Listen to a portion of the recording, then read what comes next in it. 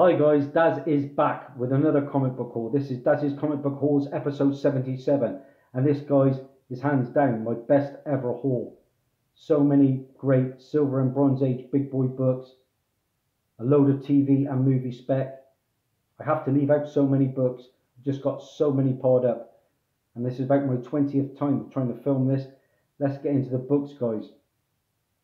Various sources eBay, car boots, antique stores, emporiums, LCSs, name it, I've got them.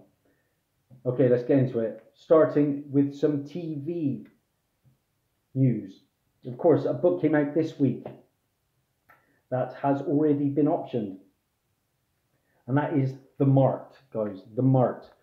Now, Brian Haberlin posted on his Facebook that uh, a TV deal is confirmed for this.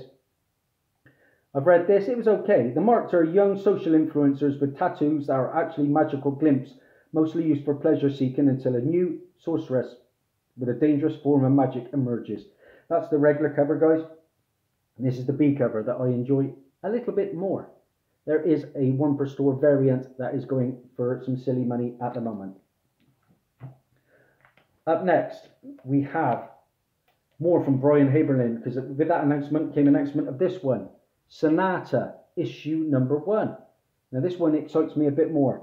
Two races clash over a world they each believe to be their promised land, while a young woman seeks to wake the gods of legend that are believed to inhabit the planet.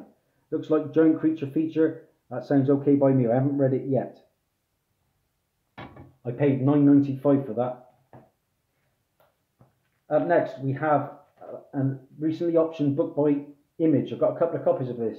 This is Sheltered, issue number one. This was a good read, a post apocalyptic tale of survival against the threat of one's own children. Basically, they're in bunkers and that, preparing for Armageddon, and it's uh, children that start killing them off. Good stuff. That's going to be a TV show. More TV news, and this one is about to be announced according to the forums. That is Curse Words from Image. That is going to be optioned. Yeah. I paid six uh, ninety nine for this. This is the regular cover. Described as a gonzo modern fantasy full of darkness, light, and magic. No, no. There is an Ashcan version that came out four months prior. There are a couple of other variant covers. There is a, a glittery cat one, I believe, that is an incentive that goes for about 50 quid now. Curse Words is coming. Another one that's coming that has been greenlit and is definitely in production is DMZ from Vertigo Comics, guys. This is a story about an American Civil War set in the future. Paid 11.74 for this. This goes around now for about 20 plus, so I got a good price. Uh, I read it. It was it was okay. Pretty dark storyline, but uh, we'll see how it gets on screen. That is coming from the director, the female director of the New Gods movie, I believe.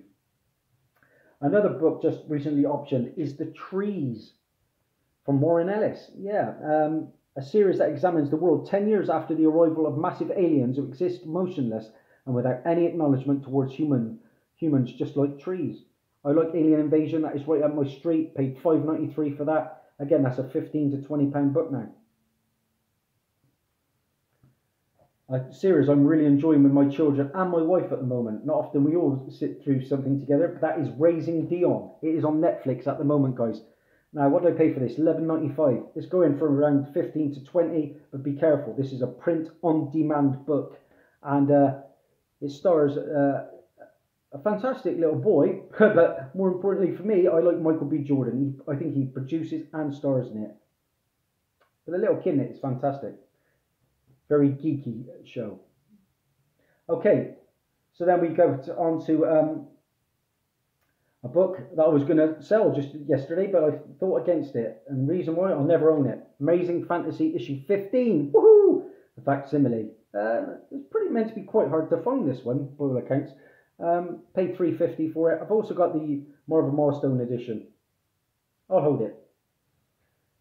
Uh, found this in a charity shop for uh, 99p, which is a good price because this one is now a 15 to 20 pound book. This is the first appearance of Wild Thing in J2 issue number 5. And Wild Thing is Rena Logan, Wolverine and Elektra's daughter in an alternate universe. He's a busy man, that Wolverine. He's got so many kids. So uh, look out for that. Of course, we uh, recently Marvel Comics presents uh, with another daughter. Carboot Tony delivered with this one. This was a quid. Captain Atom, issue number 42. Uh, the first appearance of Death of the Endless in the DC Universe outside of Vertigo. Of course, we're getting a, a Sandman show, and by all accounts, uh, Death of the Endless may be appearing in that. I have the first appearance of Death of the Endless in a Sandman. Uh, found this the other day. It's got a few good things going for it. Uh, Amazing Spider-Man, Renew Your Vows, 99p in a charity shop the other day. Uh, course, if I ever meet Clark Gregg or a character who plays Quake, I can get them to sign that book. Um, this is a 1 in 15 incentive from Gabriele Dell'Otto. And the reason, the main reason I picked it up is the first appearance of Annie May Parker, daughter of Peter and uh, Mary Jane, who later becomes Spiderling in an alternate reality. We all know about the Spider Verse. Every chance that that character may appear in a, an animated feature. And talk about alternate realities. Uh, we got Spider Man issue number two. Now, this is the first appearance. Sorry, Spider Man number two, issue number one. My apologies. This is the first appearance of Miles Morales from Earth 616, an evil version of the character who later becomes, of course, Ultimatum, most recently. And this is a 1 in 25 uh, David Marquez variant that I paid 3 quid for, and this was reaching as high as 50 quid recently. To go with that, the first cover appearance of the evil Miles Morales is Spider Man 2, issue number 3. There he is, guys. Paid 2 quid for that. Off my mate Lee. Uh, a hot book alert I made about a. Uh, we're getting a Disney Plus Moon Knight show. Pick this one up.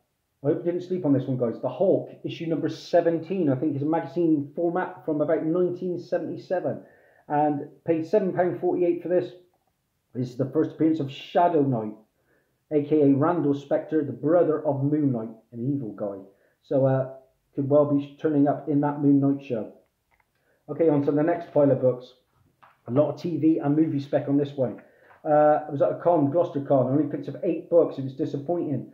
This was one of them. I wanted 10. I didn't like paying eight, but that's what I paid. Witchblade, issue number 10. This is the first appearance of Jackie Estacado, who later becomes uh, Darkness.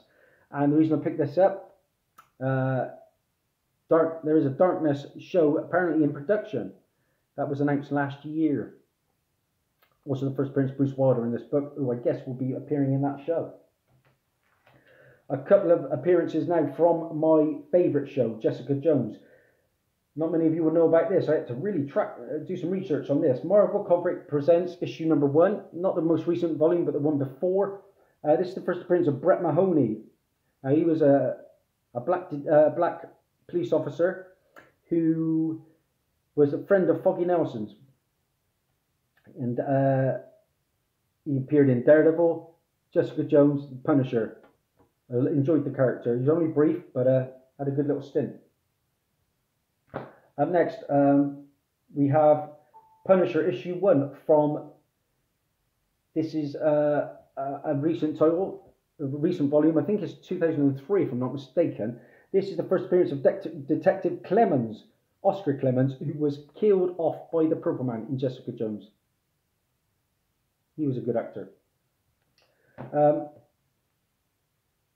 DC Legends of Tomorrow. Uh, not a lot of spec in that series, but uh, I managed to track this one down. Time Masters from 1990. This is issue number one. This is the first appearance of the Time Masters team. Now, obviously, not the first appearance of Rip Hunter. He appeared in Showcase, but the Time Masters are a cool uh, organization in Legends of Tomorrow. One of my favourite shows that I've yet to see, but I cannot wait because that's my favourite team, Doom Patrol. This is Justice League, issue 23 from the New 52. I don't think many of you will know about this. This is the first appearance of Grid. Now, Grid is a computer that assists um, Cyborg in the Doom Patrol show. Call it a minor key if you're a fan of the show.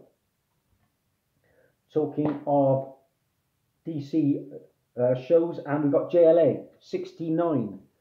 This is the first appearance of Faith, and more importantly, the first appearance of Gamemnae. And Gamemnae is a, a god, I believe, or a, something like a god that is going to be appearing in Supergirl, the upcoming series, alongside Rama Tut, who I've got another issue. and I paid a quid for that. Let's get into some Batman books, and this is a good one. This is a, a villain that we haven't really seen a lot of. This is from 1966, the Adam West TV show. This is Batman Confidential, issue 26 from 2009. How many? Look at this, guys. The first appearance of uh, King Tut. Now, in the Adam West show, he was rather uh, larger than life. He was a rather porky, actually, but uh, a good character all the same. He, he, was a professor by the name of William Omama Omaha McElroy, and he would suddenly like go into a, a, trance and wake up and not have a clue why he was around, uh, King Tut. Good character. Talking of Batman shows, uh, Batman, sorry, uh, comic books. This is Batman issue 416. Of course, we've got the Titans TV show on at the moment. Carboot Tony delivered this one for a quid. And the reason I picked this up, this is the first meeting of Nightwing, Dick Grayson, and the second Robin, uh, Jason Todd, that appeared in the Titans. Uh, didn't really like the character of Jason Todd in the Titans. Uh, uh Nightwing needs to take him down, I think. Talking of Batman uh, books, and we've got a couple of uh, Black Lightning appearances. Batman and the Outsiders issue 19 up first. And this is the first appearance of the second Cyanide. She was a female assassin in a Black uh, Lightning show. Cool character. Then we have Batman and the Outsiders issue 24, the first appearance of Sister Eve, uh, who later becomes Lady Eve. She was a, a criminal boss uh, working alongside Tobias Whale. Uh, the Punisher movie from 2004, not the Dolph Lundgren one, the second one. Can't remember the guy who played him, but I've just seen him in a horror film from Stephen King. This is The Punisher, issue 8, the Marvel Knights run. And this is the first appearance of the Russian. And he was a villain that uh, the Punisher had a big scrap with, and I mean a big scrap in that movie. And I think he was played by one of the wrestlers. They'll come to me. Um, a character that has appeared in a couple of shows now in The Fury of Firestorm, issue number seven. This is the first appearance of Plastique, Betty Sans Souci, who appeared in both Smallville and the uh, Flash TV show. Also appeared in the Justice League Unlimited uh, animated show that I enjoyed. A couple of books now. From I made a Suicide Squad 2 um, hot book alert recently, and uh, some new characters are on their way. And this is one of them. Showcase 95, issue number 8. Now, this is the first cameo appearance as a baby of Mongal, the daughter of Mongul. and we all know who Mongul is. Um, yeah, she's going to be appearing in the Suicide Squad 2 movie from James Gunn. That's her cameo as a baby. Then her first full appearance comes in Superman, issue 170. Paid four quid for a nice copy. This was after I paid for a ratty copy on eBay, but I'm going to gift that one to my friend Lyric Magic Moments. This is the first uh, Mongul as an adult. And another character who's appearing in that Suicide Squad 2 movie is the Javelin. And the Javelin appears in Green Lantern issue 173. This one's been on my radar for a while because it was talked about the character was going to be appearing in Arrow. Paid £4.10 for this. But uh, be cool to see the Javelin on the big screen. Okay, uh, then I picked up this one. Uh, I don't pick up a lot of modern books, but this was a nice homage cover. This is The Plot, issue number one from Vault Comics. And uh, this is about a man returns to his childhood home where dark family secrets are buried in the black bog that the house overlooks. Um, this is from Nathan Gooden and Tim Daniel. Now, I'm not sure whether to keep this one or flip it. Of course, it's House of Secrets 92 homage cover. Now we're into the final pile, and this is where it gets really nice, guys. There's a good stack of books here. Bronze and silver all the way out, guys. Starting with a bit of bronze, we got a from 1977, Marvel Premiere issue 35. First appearance of the 3D Man, who is Charles Chandler, paid £3.10 for that. Another character out of my encyclopedia. This is a spec book for me. This is the, I got a lovely run of the Fourth World books, and I got a nice run of New Gods. This is New Gods issue number nine. Paid 4.84 for this. This is the first appearance of a character called Forager, and a Forager is uh, one of many humanoid bugs that live beneath the surface of the New Genesis. Could well see the bugs appearing in the New Gods movie. Also, the first appearance of All Widow. This is a book that's really underrated, in my opinion. This is Batman, issue 307. And uh, This is the first appearance of Lucius Fox. Yeah, of course, he's been in a lot of Batman films and most recently Gotham.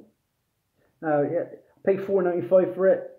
It's usually about a ten to fifteen quid book. And a sticker. Uh, it's a placekeeper for now. Uh, this was a, a find from the con I went to in Gloucester. One of the few books. They had it for ten. I offered eight. I didn't even like paying eight. But this is a spec book.